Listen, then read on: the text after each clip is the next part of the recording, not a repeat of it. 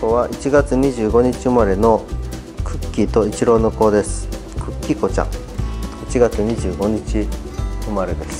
男の子です。クリームのね。はい。クッキーの子なんだなーっていうことで。はい。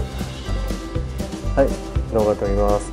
この子は、えー、1月25日生まれのクッキーの子です。男の子です。クリーム色の男の子。お父さんはイチローくんです。でどちらかというと足は短いめのタイプになります。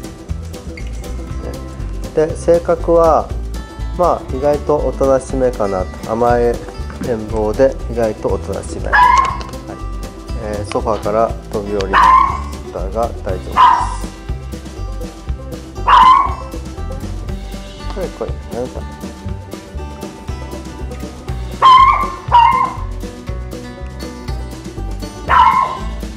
この子はお泊まりに来てくれてる子ですはい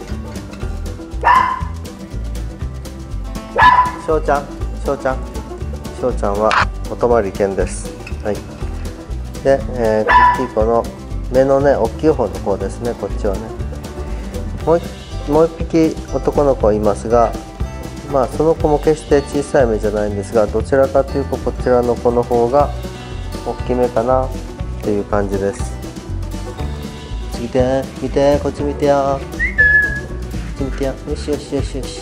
はい。よしよし。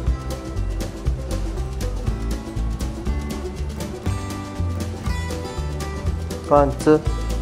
ーワンツ。ーワンツ。ーワンツ。ーワンツ。おそこでおしっこ。ワンツ。ーはい。まあこれケージの中に戻ってしてくれてるので。一応合格点です。行く？行かへんな。はい。ワンツー。ほい。うん。はいはい。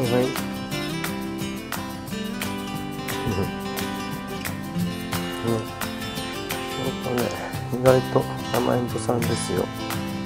ほら、かわいいね。かわいいね。